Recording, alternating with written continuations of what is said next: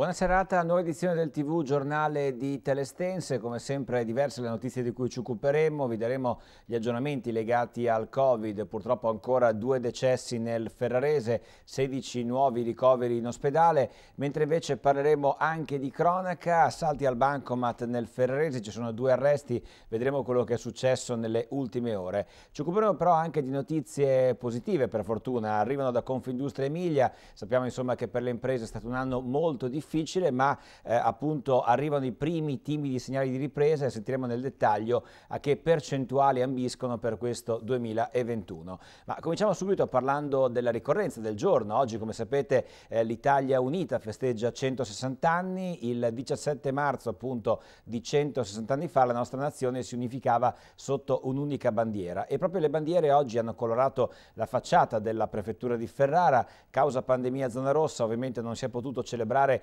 in alcun modo eh, nessun tipo di iniziativa, ma il prefetto ha voluto mandare un messaggio alla cittadinanza. Lo sentiamo.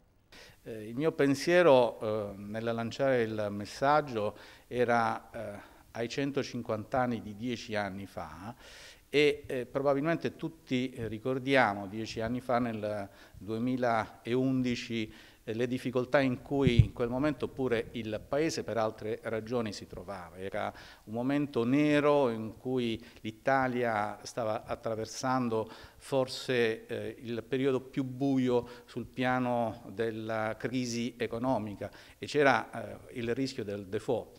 Eh, Oggi eh, siamo in un contesto per certi versi analogo, eh, è una situazione eh, di grande emergenza sanitaria, ma anche di eh, emergenza sociale e di emergenza economica. E questo mi ha eh, portato a mettere, dire, queste due date a distanza di dieci anni, questo decennale, i 160 anni, eh, per trovare attraverso un approfondimento storico anche l'occasione di eh, sottolineare eh, la forza che ha questa nostra nazione, questo nostro Stato, ricordando da dove veniamo, ricordando eh, gli uomini del nostro risorgimento e quello che più volte anche il capo dello Stato, Sergio Mattarella, ha eh, più volte evidenziato, cioè il nesso ideale che c'è tra il risorgimento, eh, la resistenza, la Repubblica nei valori espressi con la Carta Costituzionale.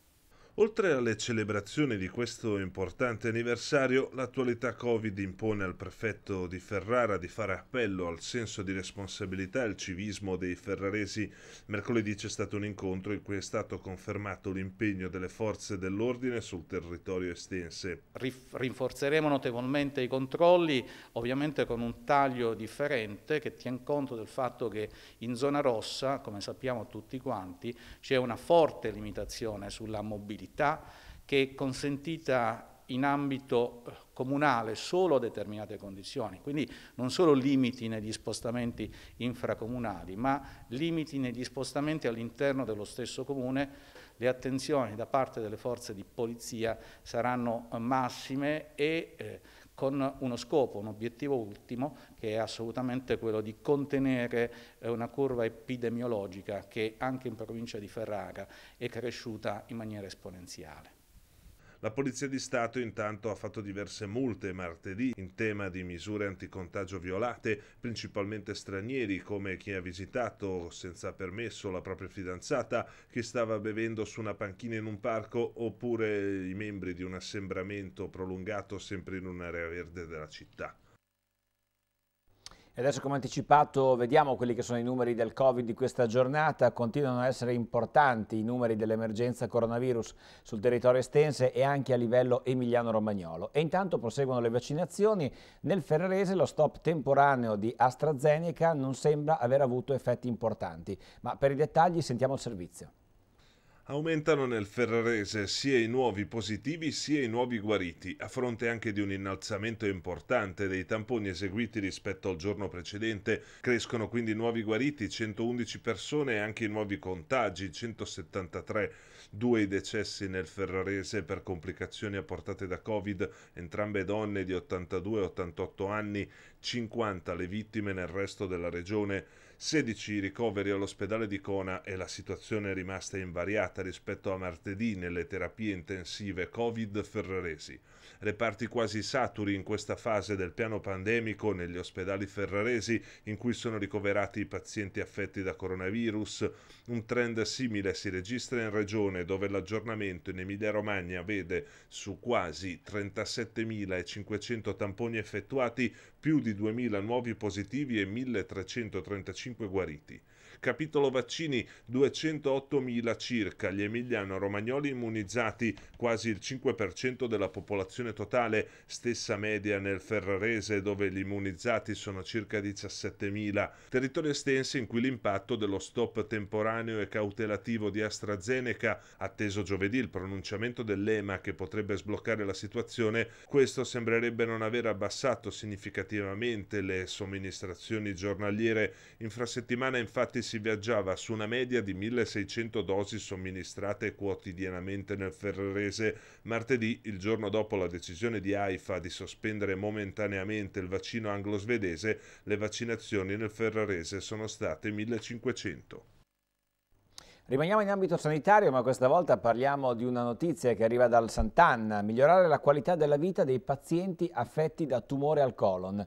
Parte con questo obiettivo il nuovo approccio chirurgico applicato solo in pochi centri in Italia e che vede tra questi l'ospedale Sant'Anna di Cona. Attraverso una tecnica operativa innovativa è possibile lasciare inalterate le funzionalità dell'apparato senza ricorrere al sacchetto permanente. L'equipe chirurgica che vediamo in questa foto è composta dai, dal professor Paolo Carcoff, Cristoforo e dai dottori Daniele Marcello, Giorgio Sogliani e da Simona Ascanelli. E intanto vediamo anche la dottoressa Paola Bardasi, commissario straordinario del Sant'Anna, che dichiara la ricerca rappresenta il volano per garantire un'assistenza sanitaria migliore. Questo aspetto caratterizza l'azienda ospedaliera universitaria di Ferrara, dove didattica, ricerca e assistenza si integrano come prioritaria mission dell'ospedale. E intanto l'assessore regionale alle politiche per la salute, Raffaele Donini, a sua volta sottolinea, quando parliamo di cancro il tema prioritario è quello di intervenire per salvare la vita e guarire il paziente, ma contestualmente è importante, soprattutto per determinate patologie che richiedono interventi demolitivi, cercare di garantirgli anche la qualità di vita successiva. Adesso invece passiamo alla cronaca, assalti ai bancomat, arrestate ieri notte due persone accusate di far parte di una banda dedita a queste azioni. Avrebbero colpito un anno fa anche le filiali delle poste di San Bartolomeo e Biper di Bondeno. Vediamo. Arrestati e portati in carcere due membri di una banda specializzata negli assalti lampo ai bancomat. Le operazioni infatti duravano al massimo 5 minuti ed è stata così eseguita l'ordinanza del GIP Vartan Giacomelli nell'ambito dell'operazione Neon 2 il basista nel Ferrarese, un 33enne di Vigarano Mainarda, appassionato di palestra e venditori in una concessionaria d'auto in città. L'altro fermato, un 49enne senza fissa dimora e fermato nel territorio romano, entrambi di origine romena e con dei precedenti con la giustizia, accusati di essere gli autori di due furti di bancomat commessi in provincia di Ferrara più di un anno fa, nel febbraio del 2020. Abbiamo cercato ecco, di dare una risposta efficace a questo fenomeno che è molto insomma, purtroppo diffuso e che eh, desta uh, grande allarme sociale. I furti dei bancomat insomma, sono un reato abbastanza grave. E in merito abbiamo uh, eseguito ecco, questo provvedimento restrittivo in carcere nei confronti di due rumeni componenti di una banda che ha commesso uh, due furti di bancomat, uno il 13 febbraio del 2020 e un altro il 19 febbraio. Eh, il, I furti sono stati commessi con la tecnica dello strappo, uno ai danni dell'ufficio postale di San Bartolomeo in Bosco e un altro invece ai danni della Banca Popolare dell'Emilia Romagna a Bondeno. La tecnica era eh, di uh, lanciare a, forte velocità un uh, mezzo come ariete e eh, con un furgone sradicarlo con una fune o una catena caricandolo poi a sua volta il bancomat sul mezzo e eh, portandolo via. Nel furto di San Bartolomeo il bottino è stato magro perché il bancomat non conteneva nulla. Invece per quello di Bondeno c'è stato un provento illecito di 22.000 euro circa. Secondo gli investigatori, coordinati dal PM Stefano Longhi, la banda era composta da 4-5 persone e non è da escludere che gli altri uomini, oltre i due fermati, venissero dalla Romania apposta per mettere a segno questi colpi. Infatti i carabinieri di Ferrara sono in contatto con i colleghi romeni per proseguire nelle indagini, indagini non facili, soprattutto all'inizio, un anno fa, rese appunto difficili a causa del lockdown che ha bloccato anche gli spostamenti, le mosse degli indagati i quali probabilmente stavano architettando anche altri colpi. E adesso invece parliamo di economia su scala regionale perché come è noto appunto il Covid ha messo in ginocchio numerose aziende ma per il 2021 Confindustria Emilia vede i primi segnali di, ripresa. Vediamo come. Confindustria Emilia ha presentato il quinto osservatorio relativo al primo bimestre 2021 sull'emergenza Covid-19 per le imprese di Bologna, Modena e Ferrara la situazione non è rosea, ma qualche segnale positivo si avverte. Nel 2021 le aziende si attendono mediamente una crescita di fatturato del 7%, dopo un calo medio pari all'11% nel 2020. Il portafoglio ordine a febbraio cala su base annua di almeno il 15% per il 35% delle aziende, ma a settembre calava per il 68%. Scende anche il ricorso alla cassa integrazione che nel primo bimestre ha riguardato il 23% delle imprese. Oggi lo smart working riguarda il 52% dei dipendenti, ma il 31% delle imprese prevede di ricorrervi anche dopo la pandemia. La pandemia inoltre ha dato anche una spinta sul commercio digitale. Il 21,7% è investito per sviluppare o potenziare le piattaforme e-commerce. Sul fronte sicurezza, Confindustria conta un 37% di aziende impegnate in attività di screening sui dipendenti e 1229 addetti contagiati. Il 2,3% dei 54.240 al lavoro nelle aziende del campione. In sintesi, secondo Confindustria Emilia, per il 2021 qualche segnale positivo si inizia a vedere.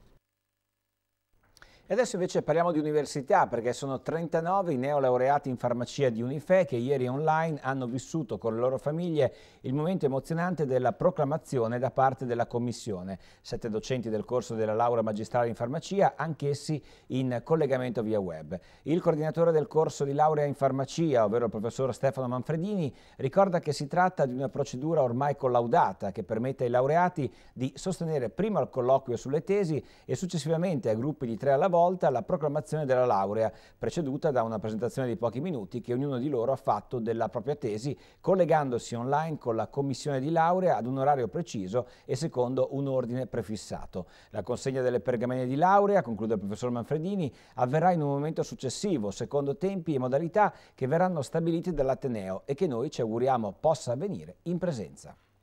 Adesso invece parliamo di rapporti commerciali, tema che si è discusso questa mattina in Camera di Commercio tra l'imprenditoria ferrarese e quella bulgara e i dettagli li sentiamo in questo servizio. Il crescente impegno ad attrarre sempre più nuovi investitori stranieri, i buoni risultati nell'export la ripresa dell'occupazione, ma anche la competitività delle imprese ferraresi e le eccellenze della meccanica, dell'alimentare e dei prodotti chimici e tessili.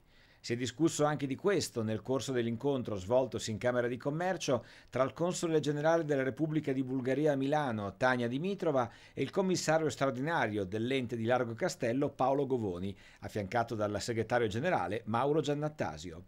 Illustrate in particolare le opportunità normative e fiscali e le offerte agli insediamenti aziendali in Bulgaria, oltre che per rafforzare le occasioni di soggiorno e di scambio commerciale fattori sui quali le imprese ferraresi possono contare per entrare nel mercato della Bulgaria, un paese in grande sviluppo che nei prossimi mesi potrebbe aprire scenari economici ancora più importanti. La Bulgaria rappresenta storicamente un territorio di riferimento per la nostra provincia. Nel 2019 infatti le imprese ferraresi hanno esportato in questo paese merci per oltre 6 milioni di euro, più 20% rispetto all'anno precedente. L'importanza delle relazioni esistenti tra la provincia di Ferrara e la Bulgaria è testimoniata anche dalla presenza nel territorio ferrarese di oltre 200 tra titolari di imprese individuali e amministratori di società.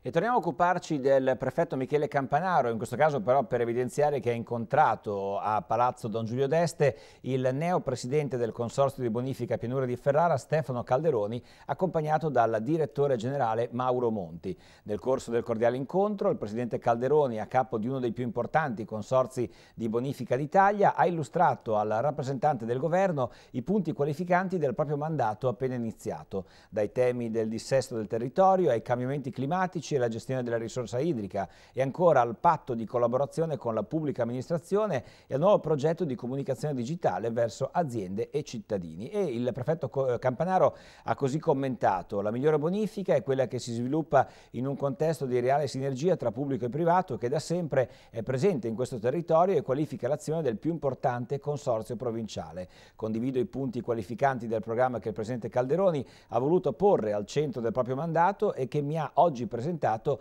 a ulteriore conferma dell'unità di intenti tra enti e istituzioni preposte su piani diversi alla difesa del territorio in uno spirito di fattiva e leale collaborazione. E al termine dell'incontro il prefetto Campanaro ha formulato al Presidente Calderoni i migliori auguri di buon lavoro.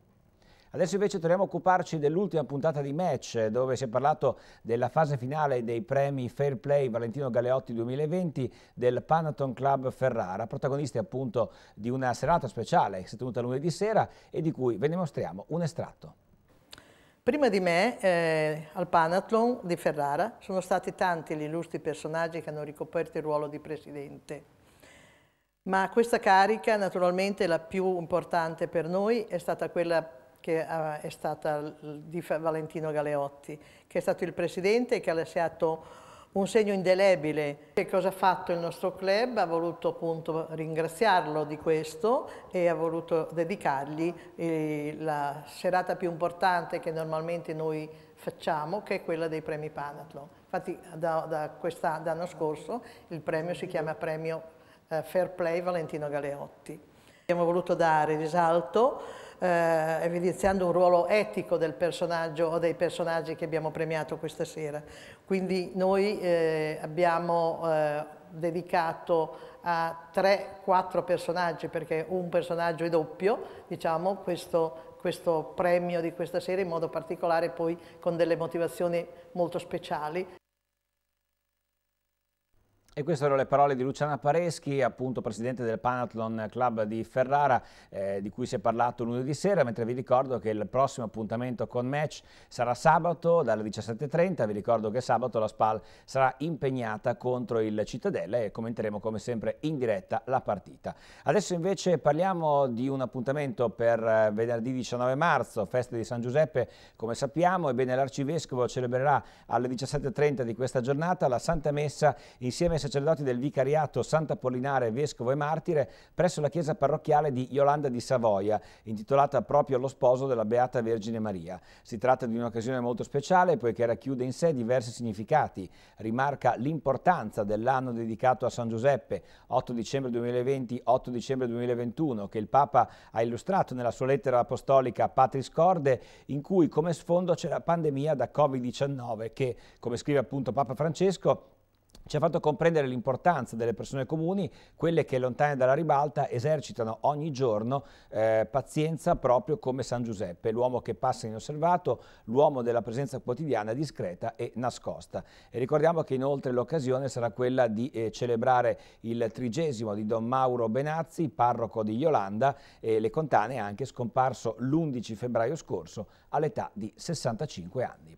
Adesso invece diamo un'occhiata ai programmi TV della serata per questo 17 marzo. Vi ricordo alle 20 su Telestense appuntamento con Campagna Amica News in collaborazione con Coldiretti Ferrara. In questa puntata dalla necessità di creare filiere e accordi nel comparto dei cereali per valorizzare produzioni di qualità al problema delle nutrie che invadono campi e argini nei terreni agricoli e poi ancora gli webinar organizzati dai giovani coltivatori, la formazione dedicata agli agriturismi e le novità dei mercati di Campagna Amica a Ferrara. E a seguire alle 21.30 avremo una puntata di Con i piedi per terra oggi. Argomento principale di questa puntata, la riforma verde del Green Deal europeo Farm to Fork, dalla fattoria alla forchetta. È il fulcro appunto di questa politica agricola comune che prevede impatto climatico zero, riduzione di agrofarmaci, aumento delle coltivazioni biologiche, sostenibilità ambientale e biodiversità. Ma le imprese agricole italiane sono pronte a questa rivoluzione verde chiesta e incentivata con importanti finanziamenti dall'Unione Europea?